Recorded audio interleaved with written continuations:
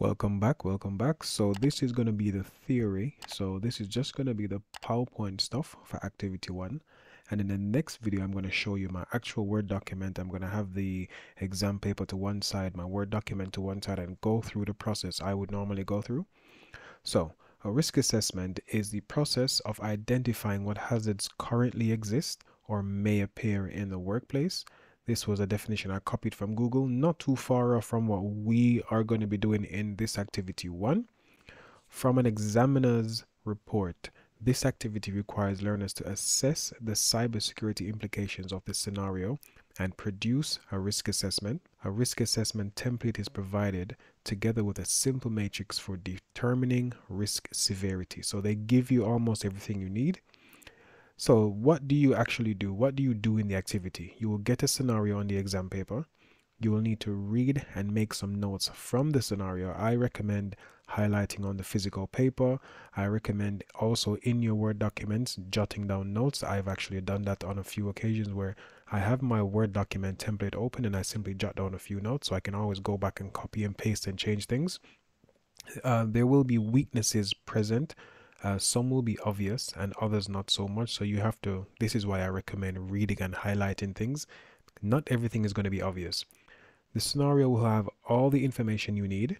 The scenario will have information of the company, the hardware and software the company uses, a plan of the building. So that's like a diagram showing what rooms they're going to have and where things are going to be laid out and there will also be a network diagram and how the network and its devices are arranged. So think of a network diagram as just, well, a diagram that shows you how what devices the company is actually going to be using and in some cases, well, in every single case, how they're connected. So activity one, again, what to do. You will need to find these weaknesses. So the weaknesses I mentioned earlier, after reading through the scenario, you'll have to highlight, pick out as many weaknesses as you can. I suggest making a list of all the things you find. Make this list exhaustive at first, so make the make the list big, then trim the list down if you need to. So every single thing that you see or read that could be an issue, note it down. And what you would do afterwards is you shorten the list, but don't start off with just three or four things. I would say between 6 and 10 is a good number. Maybe 6 and 8 would, is a good number. But again, make your list exhaustive. So as soon as you see something and you think, actually, this could be a potential weakness, write it down. You can always remove it. So this is the risk severity matrix table here. This is given to you in the activity one template. Very simple to use, but I'm going to try and explain using my PowerPoint here how it works. For every threat or weakness that you have found, you need to do one of these or you need to make use of this table. What I've done in the past is I've created this table myself. I have it in my document and I fill it in for every single thing I find. I, simple, I simply copy and paste it every time. So the risk severity matrix, there are two things we need to do using the matrix. Well, it's actually three. Uh, so that's actually wrong. The probability of the thing occurring. So, how likely is it that this error or this weakness or this fault or this issue will occur? The potential size of loss. So, let's just say, for argument's sake, it does happen. What is the potential size of loss to the company, the person, or the system? And then finally, how severe the threat is. So, the implications if it happens. So, if this thing happens, how bad is it going to be for the company? Uh, so, things you need to do again list all the threats, do the below for each threat. The threat probabilities, that's the likelihood of it happening. So how likely is it to happen? Uh, the possible threat impact, how, not how much, but how much damage could it cause? And the risk severity matrix example. So I've given the example. The threat is no encryption on the admin server. That's the example I'm giving. Imagine this is my threat let's give this the worst case scenario a popular secondary school which is going to have maybe a server it's probably going to have thousands and thousands of details of past students current students and maybe students coming in, september. So it has details on students parents teachers uh, payroll information uh, bank detail it just has everything okay? So this is going to be a really serious one I need to use the risk severity matrix to work out the probability and the possible size of loss. So the probability of the threat occurring. So again, the threat is no encryption on the admin server. The probability, in my opinion, my educated opinion, is very likely an educated guess based on this scenario. So this is going to be your interpretation of what you think as well.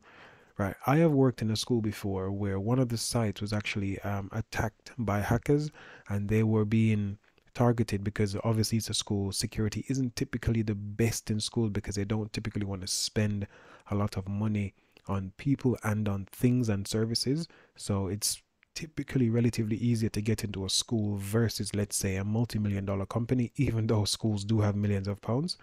So I'm going to say the probability for this is very likely very likely to happen because if there's no encryption on the ad admin server and someone gets into the admin server, even if it's a student, they can see everything. Nothing is encrypted. They can click on something and read all the information and print it and copy it and paste it. I'm going to say very likely. Then the size of the loss. The threat again is no encryption on the admin server. I would say this could be a major loss. Why would it be a major loss? Think about it like this. if there is no encryption on the admin server, and someone gets access to the admin server, they have all the information on every past student, every current student, and potentially students coming in in September. They have information on the cleaners, the teachers, the principal, payroll information, the school's bank details. They have information on every single thing. So the size of the loss, and the loss doesn't have to be them legitimately losing all the data in terms of, of um, someone deleting it that is a big thing as well but it could be a case where someone just has access to everything. So they technically lost the data because someone else has access to it.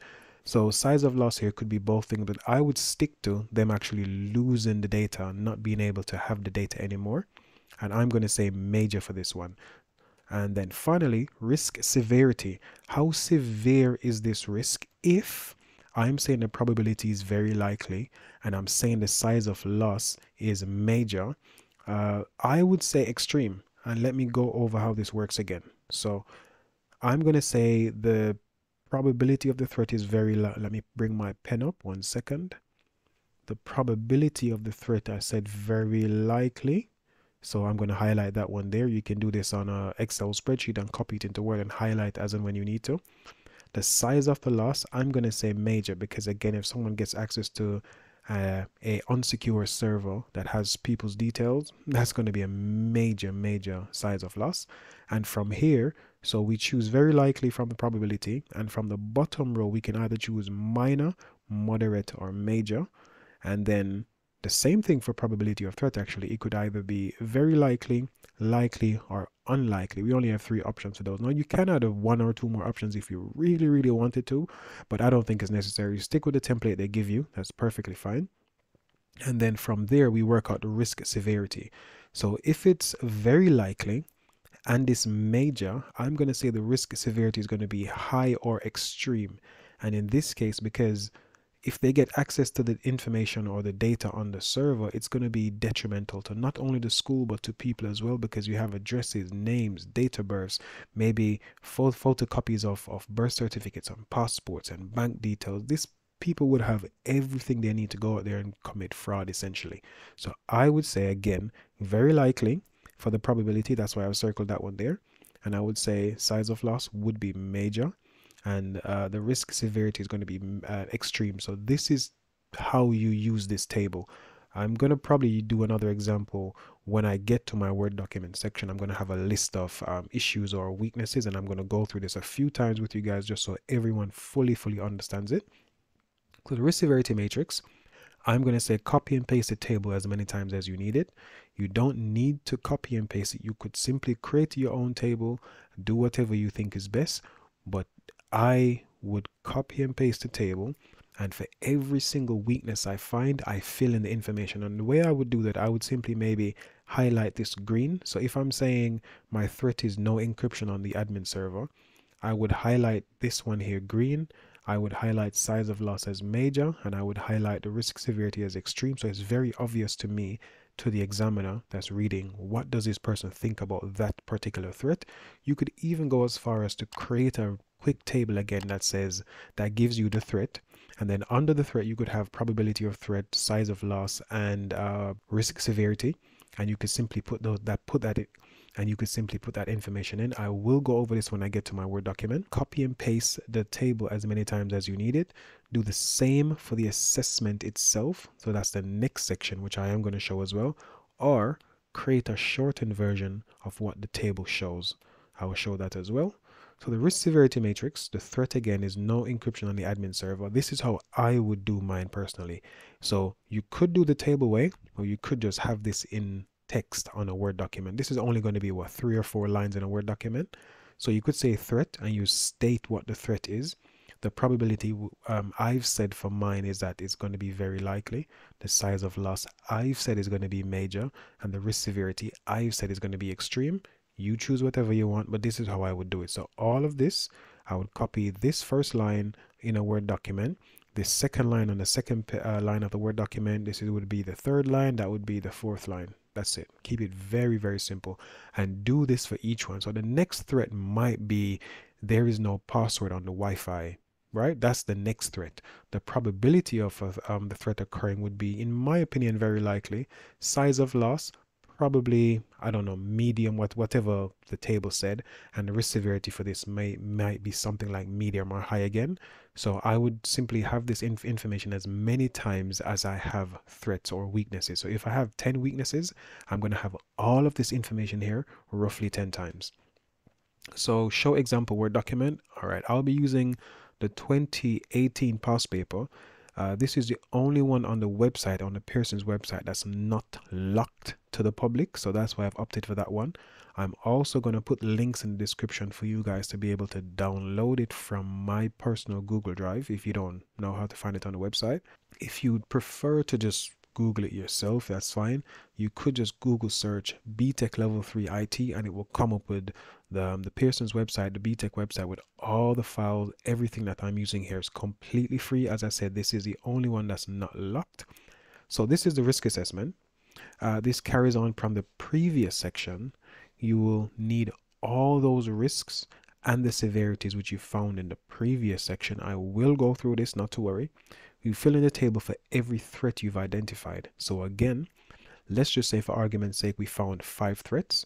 I'm going to have this table here copied five times.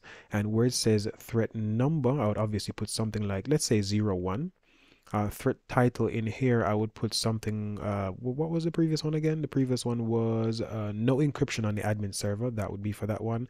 I would put the probability, uh, potential size of impact, risk severity, explanation of the threat in context. So why do I think the probability is going to be so high? Why do I think the potential size of loss is going to be so high? Why do I think the risk severity is what it is? So give some context, give some explanation, justify why you're saying what you're saying in the last box here. And again, if you have 10, or sorry, I said five before, if you have five different uh, threats or weaknesses, you have five of these boxes. I'm going to show you even how to copy and paste them when I get to my Word document. So bear with me. And that's it for this one. So the next part of the, well, the next video is going to be activity one me in my Word document with the exam paper on the left, me making some notes, me doing the risk, uh, the risk assessment, and we'll take it from there. Thank you for watching. Hopefully this was useful.